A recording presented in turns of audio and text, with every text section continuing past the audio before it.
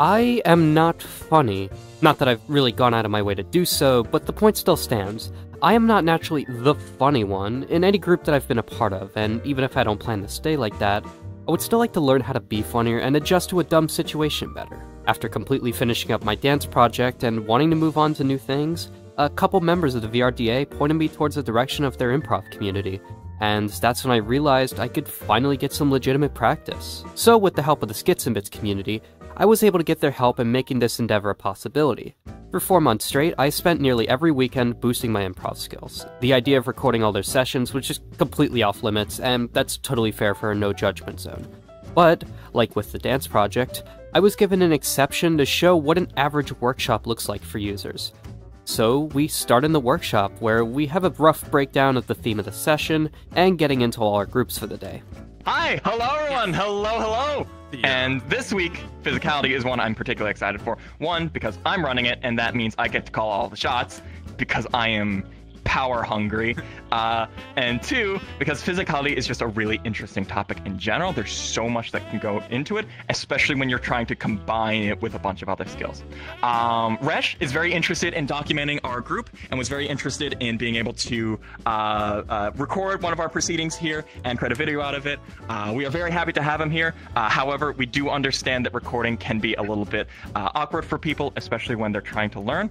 Okay, I have a lot more than I thought, actually. Okay, so with all that said, everyone, go to your rooms. Alright, I've never actually been to room 4. I don't know where it is. With room 4 not being too far away, we got ready for the first of the three games I'm showing off for the day. To start off with, uh, of course, we're going to be doing moving name here. Moving name is all about mimicking a person and listening to their preferred nickname and pronouns. It's just meant to get to know the person, their body language, and replicating their tone and everything else. Nice to meet you. Name's Zidane. What are your pronouns? What are your pronouns? He, him. Sorry, I forgot already. Howdy, Nice I'm to. Zidane, and I'll go by him. Name's Zidane. Zidane. I mean, Heyo, I'm Resh, I go by he, him. hey, I'm I'm Resh. I'm Resh. Resh. Go by Go by him. Man, is that what I sound like? Hi, I'm Squid. She, her. Hi. Hi, I'm I'm Squid. Hi, I'm Squid. She- Alright, you get the gist of things. Let's go on to the meat of the improv. Our second game is called Freeze Tag, where two people on stage create a scene, and at any time, you yell freeze, and you tag out someone, and you take their place, and from there, you create a brand new scene. You have a really nice back, I'll have you know. Like, top tier. Oh my god. No, turn around, turn around, turn around. Oh yeah, oh yeah. I'm actually entering a uh, steel curtain competition next week with uh, it's a shoulder one. You know, we just grab the steel ball, it's hollow, and you just. I'm sorry, officer. I haven't done anything. Oh yeah, I know that you're uh, smoking a cigarette. Oh, I know cigarettes are highly illegal in, in Cigar Town. Give me your hand.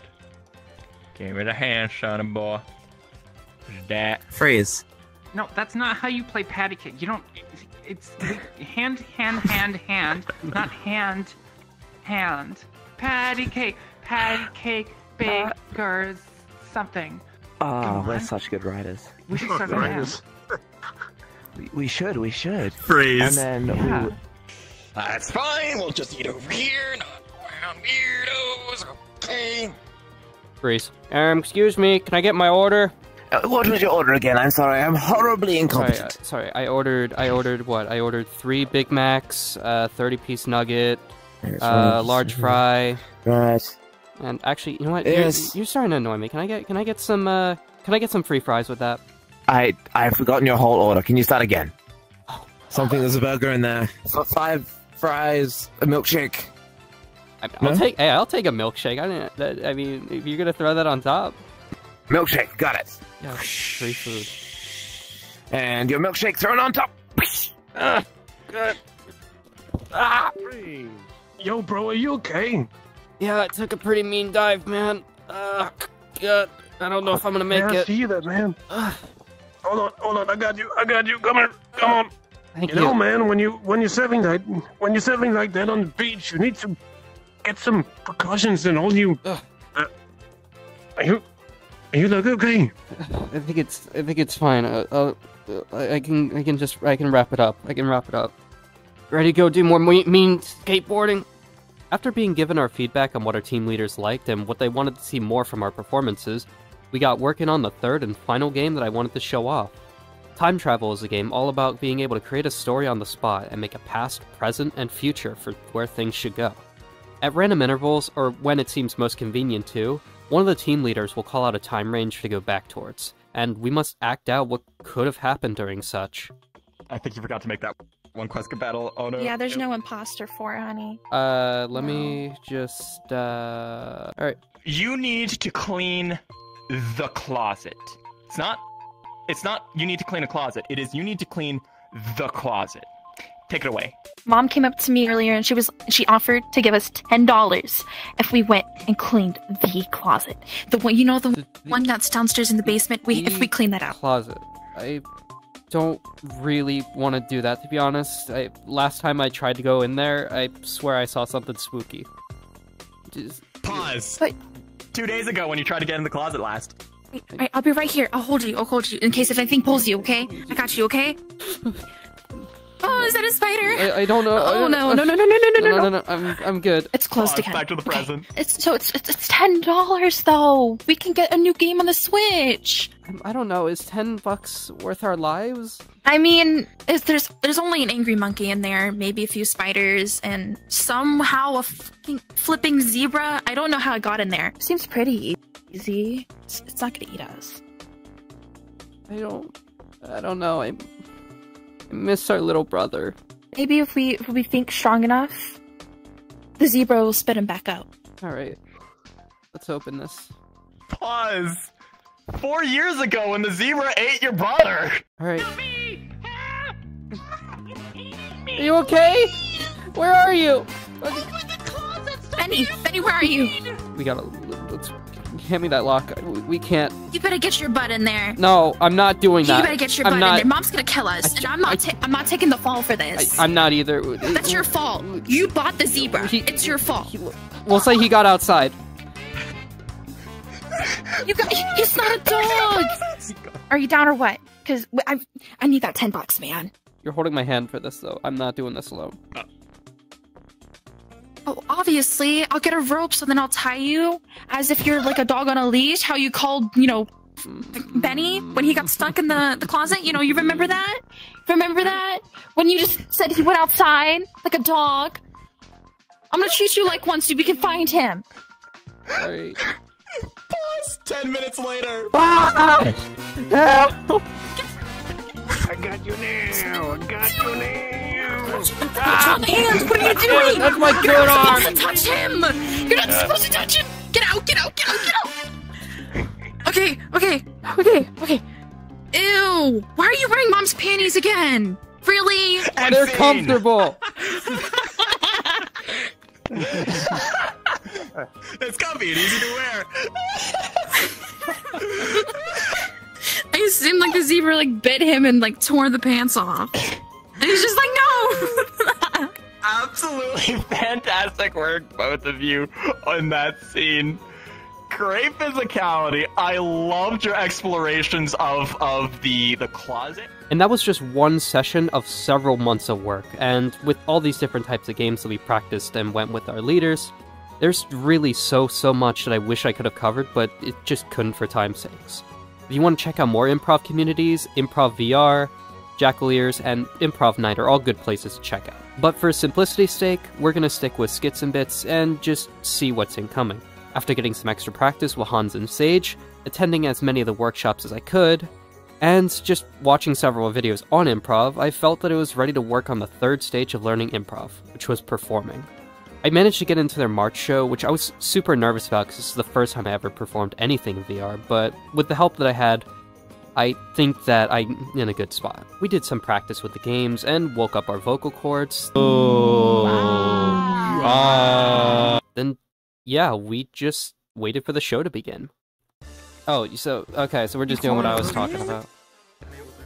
Okay, I'm seeing people come over, but I think in the workshop they've said like a few times, uh, avoid bringing guns into improv as much as you can. So I'm good to go. I was Paul? turning on the actor chairs from back here. Okay. All right. The pressure was on, the stream was starting, and then.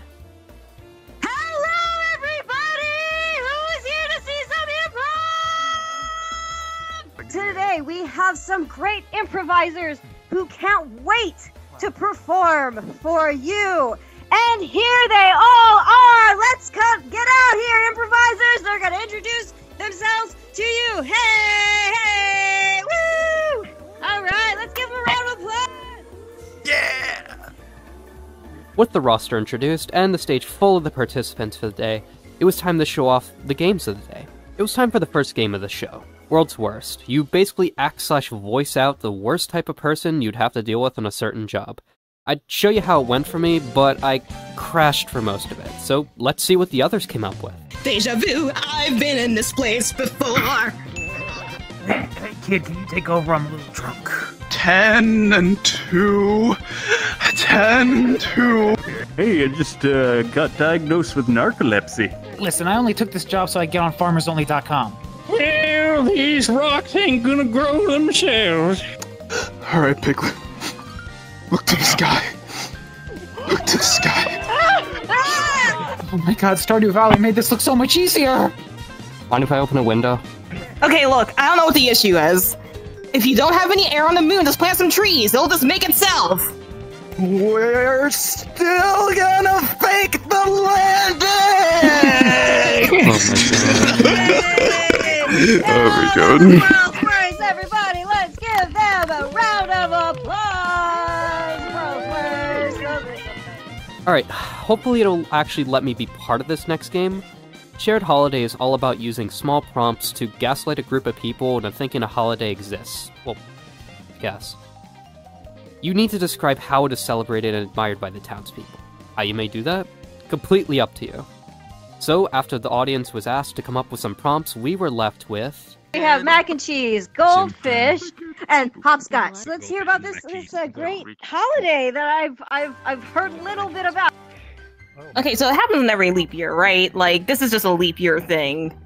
Yeah, you can only have these sorts of things so often before people just genuinely get bored and oversaturated. I mean, it's like people get bored of Christmas and Halloween, obviously, but no, our holiday completely different than everything else. You gotta hopscotch past those four years to get to the true excitement.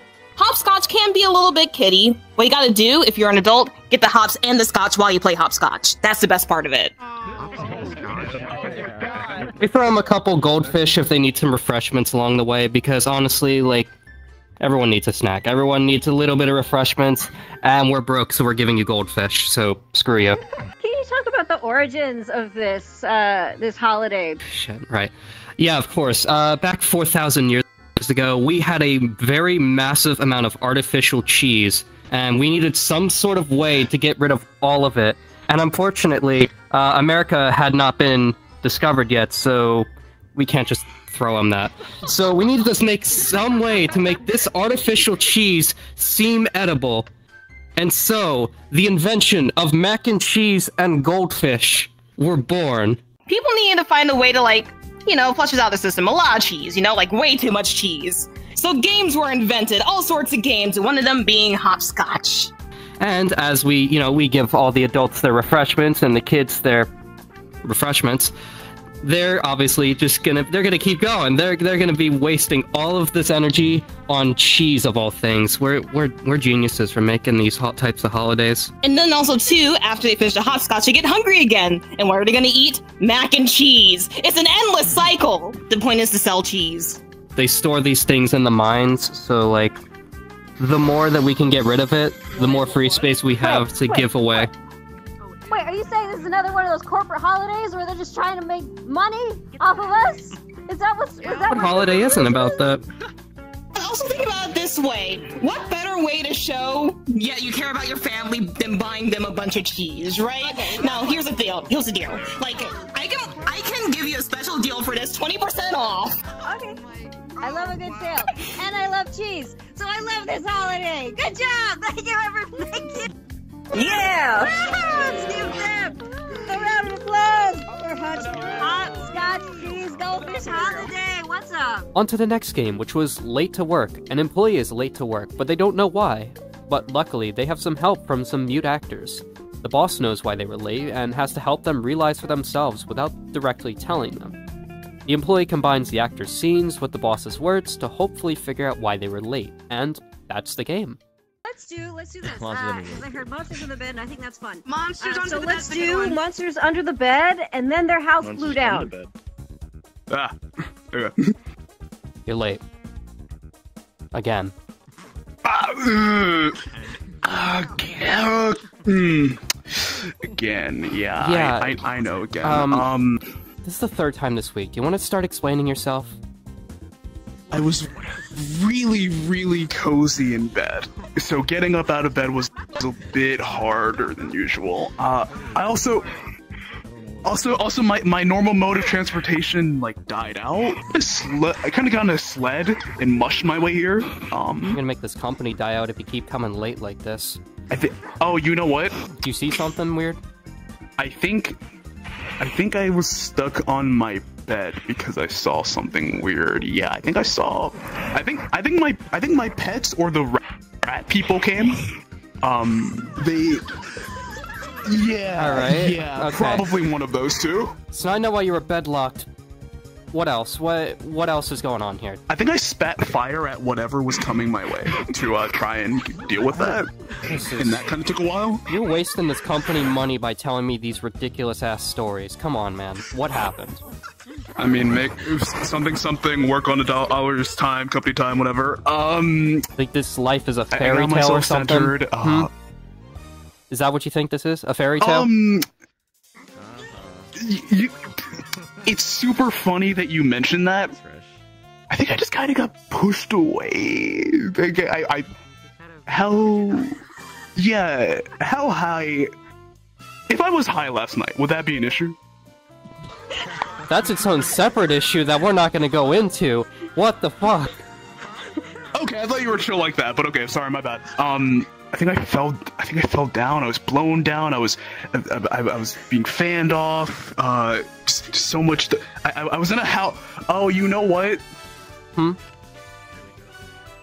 So there is this wolf. There Yeah, this I know. There's one up there. Um, yeah, yeah, my. Oh, that motherfucker! You blew my house down. Hey! Oh, God! You had monsters under your bed, and then your house got blown down. Everybody get Okay. fun! Uh, thank you. You wasted like $200,000 of the company's money with that story. The final game being showed off is called Scriptwriter. One person writes a story for the others to follow, the actors can help influence where the story goes, but the scriptwriter makes the final call. That's all I'm gonna say, and since we're, we're just gonna get into this last part, I absolutely love this, so let's let's just see what happened. On a dairy farm in 1999, there was a boy who loved to play with his dog. So much so that he would pretend to be a dog day and night, which would be at the consternation of his father, who hated uh, his uh, son emulating the family pet. And his mother just was beside herself in grief, knowing that her son was now going down the path of her, her long lost father, who ran off into the woods to live with the wolves. One night, uh, the mother and father uh, huddled in the corner in the living room. I we need to get rid of the dog. And the father's like, I know. I, I but I've been trying to figure out what to do because he just l- loves the the dog so much. I mean, I've been holding this rifle for like nine days, just trying to get up the courage to just get rid of it.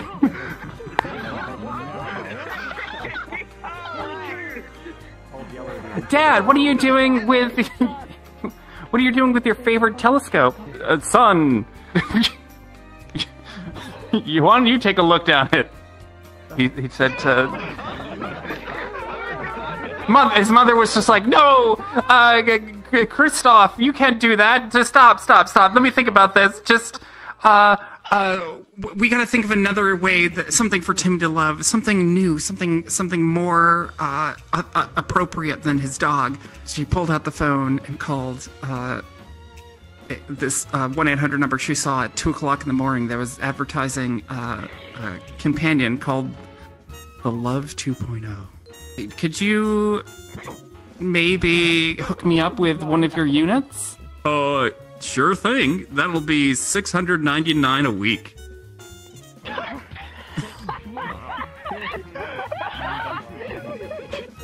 Look, look, look. Later that night, the, the mother and the father uh, grabbed the dog after giving it a box full of Benadryl and, and carried it into the night and left it uh, deep in the woods to fend for itself, uh, knowing, hoping that by morning the Love 2.0 will be there and Timmy won't care about uh, Sparksif any longer. The next morning, there was a knock at the door. Knock, knock, knock. Knock, knock, knock. Ta-da, look at, look, I have your Love 2.0 right here. Uh, it's an anthropomorphic dog.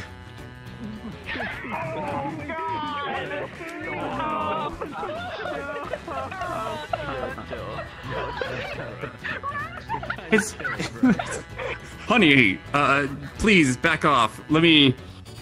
I thought this was going to be a machine. Uh, it is. It's just the greatest AI software man has to offer, plus the greatest costume work from Jim Henson Studios.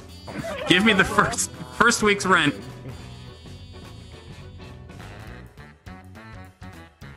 Thanks. Uh, ta-ta for now. Boy. Said Love 2.0. Hey guys, you wanna love me?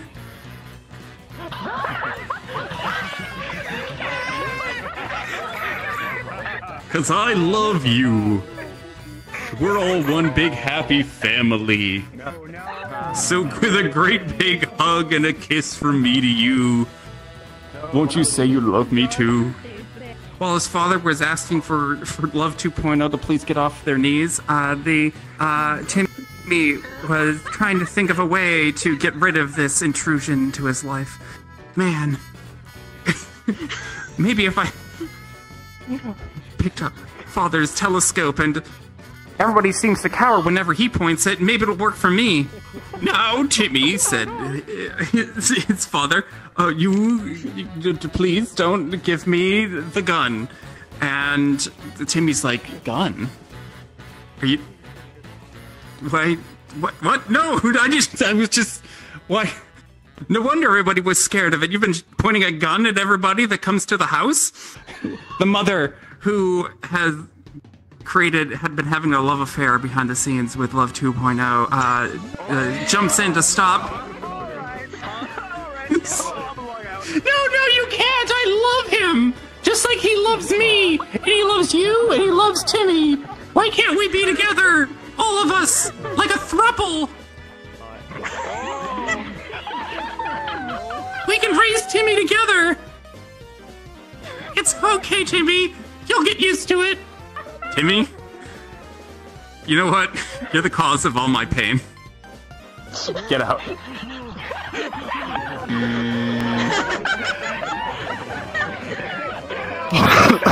my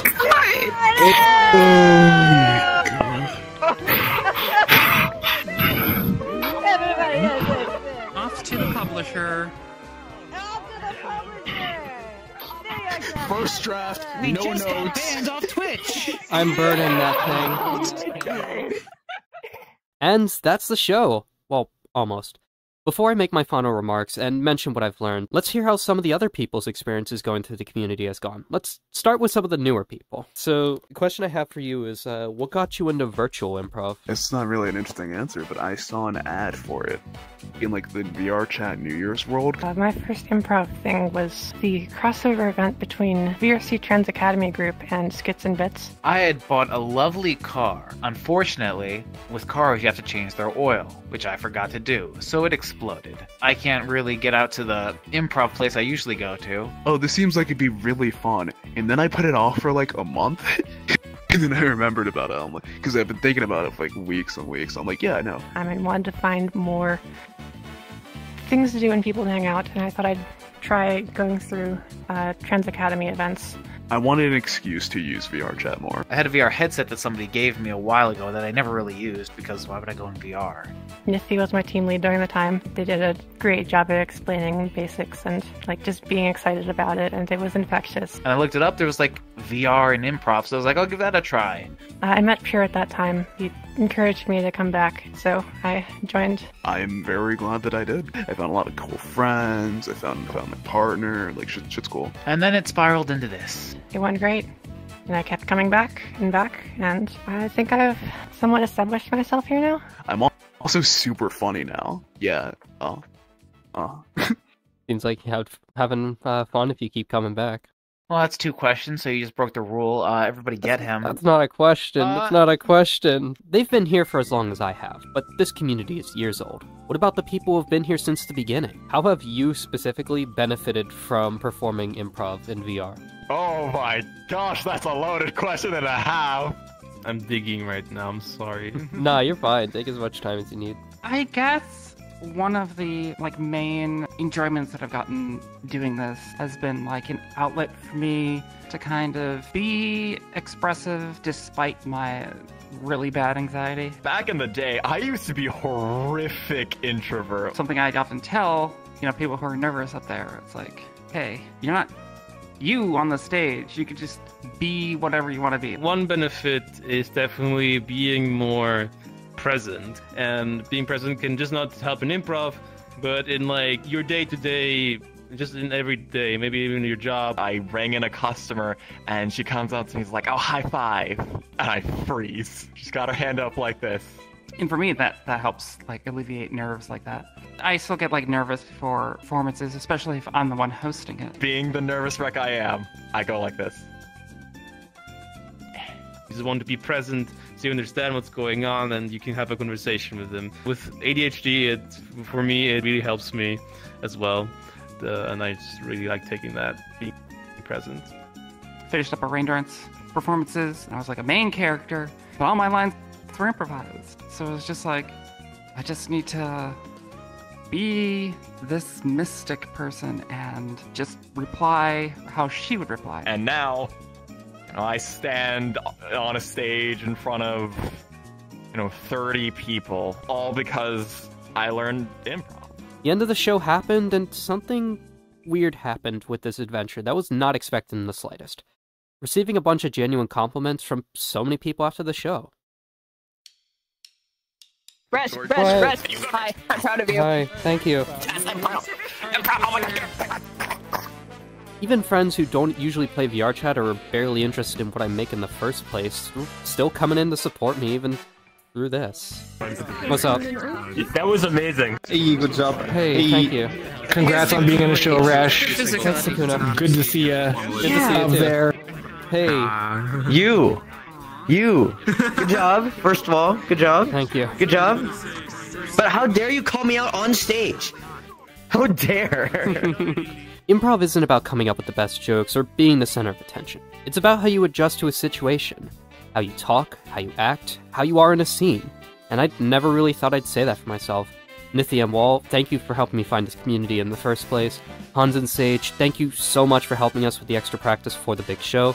Switzer, Zircon, and Wall again, thanks for help creating such an amazing community. I can't wait to see what the future looks like. I wish I could thank everyone individually here, but this video can't be even longer than it already is. But if I didn't mention your name, just know this thanks goes to you. This has seriously been my favorite project yet, and I couldn't do it without you. I want to keep doing more stuff like this, but obviously, something that takes four months means that I can't do it all the time, so keep an eye out for what there is in the future. But that's all I really have to say for now. If you enjoyed, don't forget to like, subscribe, do all the stuff that people tell you to do, and I'll see y'all when I see y'all. And also, everybody, come up on stage. Let's take a picture. Let's.